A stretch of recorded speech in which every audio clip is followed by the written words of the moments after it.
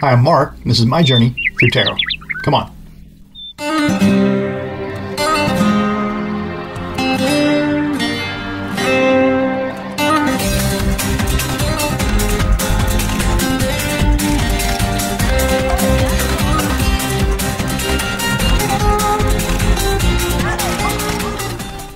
So this is a three card oracle you pick with dyadic cross finish. Let's see how it goes.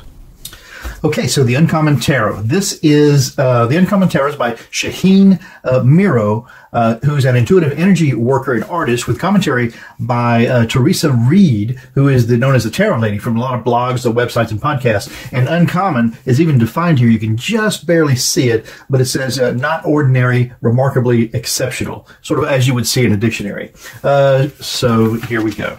It's a nice box. Uh, it's got that nice little clasp, which you don't often see on a smaller, and it's like you might expect a perfume to come in this box. It's that kind of quality. Okay, and the material is really has a nice sheen. So it's a beautiful piece of packaging. You know, at least you felt like um, you know you're getting a little something for this. The um, inside does have that definition on this foil, silver uh, foil uh, thing, uh, uncommon, how to pronounce, ordinary, remarkable, uh, exceptional.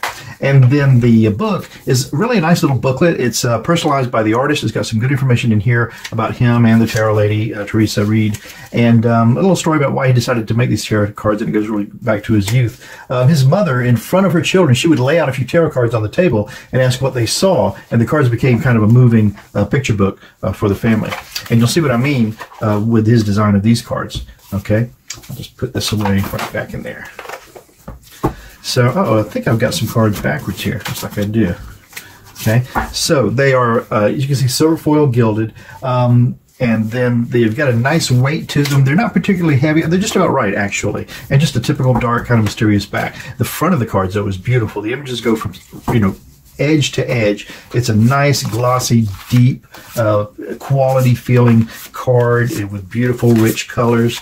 And uh, Shaheen's Un- Uncommon Tarot is a contemporary reimaging of the Rider Waite Tarot uh, with a collage work uh, melange, uh, rich with worldly people. Uh, places and settings. I mean, you can see. So they're beautiful, beautiful cards. They're not hard to use because in the bottom it just tells you what that card is, and then you get to take a minute and then pick out the elements in here that are pertinent to what you're uh, reading about. So, uh, beautiful cards. This is always a good way to spread the cards out and get your energy into them, or get them warmed up for the day, or maybe you're working with somebody, your friends are sitting around, you can let them mix them up if you don't want to have them shuffle.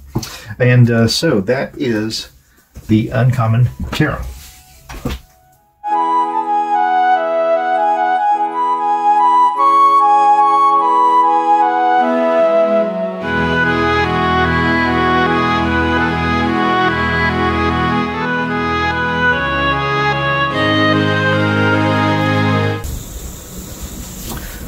This will be a three card Oracle one, two, three.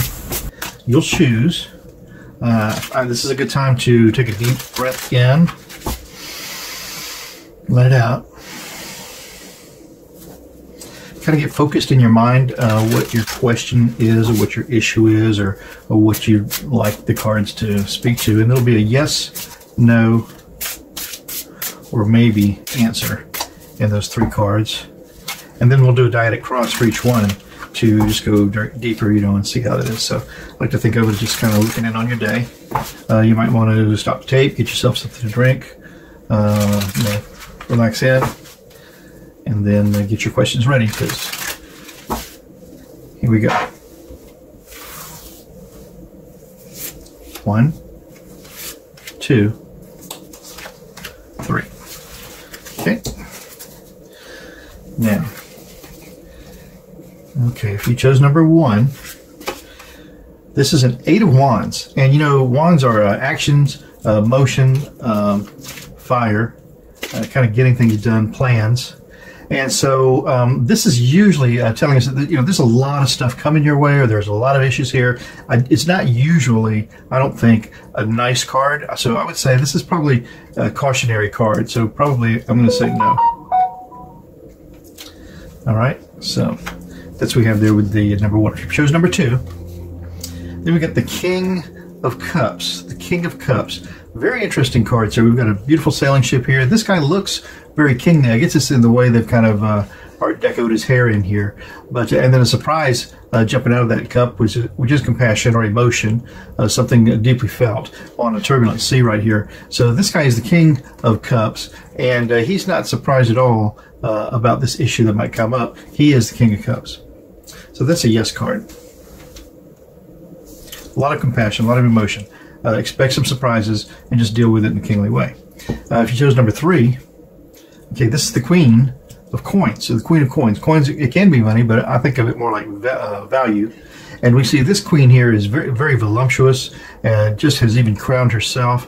Very relaxed, uh, you know, fruitful, and uh, really in control of all of her value. She is the queen of coins. So it's another big yes card. You know, lots of confidence, uh, lots of solid uh, movement for a yes in that card. if That's what you chose. So now we'll just take this one and dig a little deeper. So if you chose number one, that's the eight of wands. Wands are plans or actions, uh, and it's a lot of stuff coming at you. Uh, a lot of issues, um, at, at, the very least. And uh, I really don't know how to interpret this person in the middle there. They're almost like this is almost like a layered thing. This is almost just like a bird by itself, but then with a symbol in the middle of it. But then behind that even is this sort of a knight-looking uh, fellow um, almost like he's holding open the arms of the bird. So I don't know. This is a very deep picture, but um, it's certainly a no card. But let's get five more cards out of here. Finish that dyadic cross. So this is going to be one, two, three, four, and five right there. Okay, I'll put this over here to work on that and see what's going to challenge uh, all these issues. So this is an awakening, number 20. So this has got to be, is it judgment or is it temperance? Uh, an awakening. So let's see. Oh, I'm so lost. 0, 1, 2, 3, 4, 5, 6, 7, 8, 9, 10, 11, 12, 13, 14, 15, 16, 17, 18, 19, 20. Judgment is an awakening. It is judgment. So so many issues coming at the same time is challenged by this judgment. Um, so let's see what else we get from this.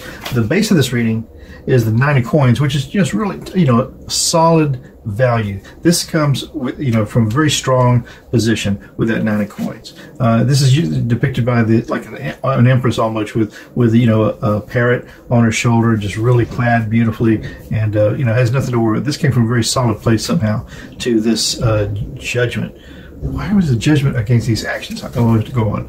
So in the past we have uh, the wanderer. So this is the fool. Uh, so this was uh, a journey that started out and uh, perhaps not well conceived. And in Sky that's reading, uh, the Knight of Coins, yet very, you know, this is the person that's going to get this value done for the royal court. Uh, this is the Knight, taking this seriously. So, and then the final outcome of this whole thing, look at that, ill intentions, uh, the devil.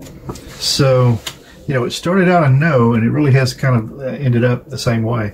So we start out with this uh, eight of wands, lots of actions, plans, and embattlement almost, and then judgment uh, right there is the challenge to it. I'm not sure, like perhaps if we engage in this issue, uh, we might be judged for it. Um, but we come into it from a solid base. It was off on a new journey uh, with some very strong intentions. But again, the out, last outcome is is just poor judgment, and uh, so I would say no. That's a certainly a no. So now we'll stick these back in the pack and go on to Dyadic Cross for number two. Yes card. This is the King of Cups. Lots of emotion, passion, passionate Okay, this could be even a father figure, certainly a very compassionate uh, leader, uh, ready for any surprises that might occur, uh, wizened. So that's a yes. So it comes from that strength that we just talked about in that King of Cups. And then we'll need five cards to finish that out. So we go one, two, three, four, and 5. Okay, so there we are. And what is the challenge to this king, this very emotional king of cups. So this is the uh, four coins, and this is really, you know, trying to hang on to what you've got. I mean, you know, this guy's contorted uh, like crazy, uh, trying not to lose uh, place, almost like that Twister game. So yeah, um, holding on to your value uh, while you're trying to be compassionate is certainly a challenge. And the base of this reading with this uh, hanged man, and I'll just turn it over so you can see the figure of the man here. He's got kind of a, a dress around his chest, uh, you know, so sort of a vest, uh, and then uh, this is the head uh, knelt, knelt over with a scarf on top. Looks like it could even be a woman, but uh, the arms are, are outstretched here. These hands are flayed open.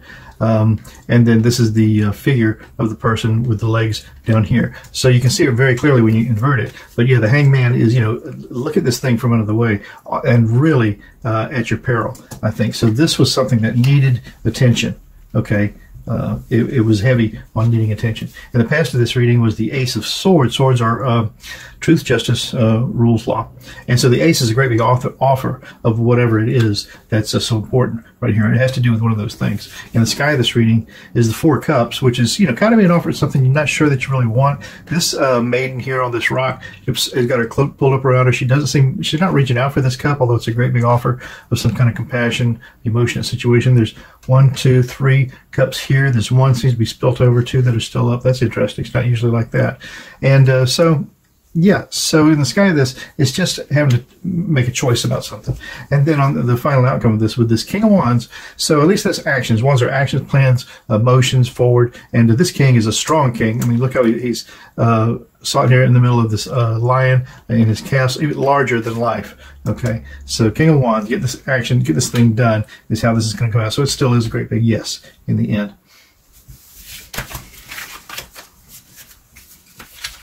And then, if you chose number three, we'll put these cards back in here and do a nice five card dyadic cross for that one. And that's the Queen of Coins. Good. Um, I mean, also a signifier coming from a very strong place. Uh, you know, fully in charge of her value and not afraid to show it in any way, shape, or form. So five cards to finish that.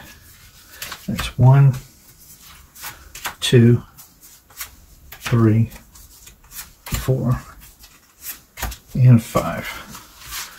Okay. Those are done. And the signifier card being the Queen of Coins, completely in charge of what's happening here, challenged by death. So this is an end. This is a finality. This is the uh, and rebirth, of course, uh, signified by the moth and the butterfly, and several of them, as a matter of fact. But yeah, so this is the, the finality, the end of. Um, so all of this prosperity is challenged by uh, the possible end of it. But you have to understand something always goes on from that, even if that's the worst that, that happens. But the base of this reading then is the Three of Wands, which is long-term planning, and that's what you would have hoped that you would have underpinned all of this with to begin with. And if not, now you can think about that. And then the, in the past of this reading is the Nine of Wands, which is really being embattled. So someone's coming into this issue really having gone through a lot of uh, plans, a lot of uh, actions, and uh, but they're ready to continue on, but uh, they're embattled. Uh, in the sky of this reading, uh, we've got this nine of coins, which is that's so funny because it's, a, almost a mirror of this uh, queen of coins right here. This nine of coins is telling you this very fruitful, uh, very uh, prosperous uh, woman. Just look at it; she has a peacock in her garden. So you know who wouldn't you would you would want to have something in your garden that you could eat if you needed to, or that you regularly expected to eat. You know, she's got a decorative peacock. So in the um, although at this at the time of these cards, that would have been on the menu as a matter of fact, peach.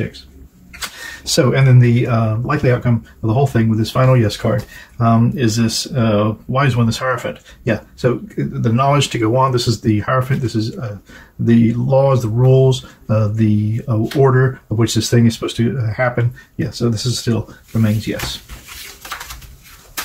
Even more so, really. So those are the three cards today. Hope you got something out of that. And we'll try again. I'm Mark, My Journey Through Tarot. Tomorrow's another day. Stop by, we'll do it again. Ciao for now.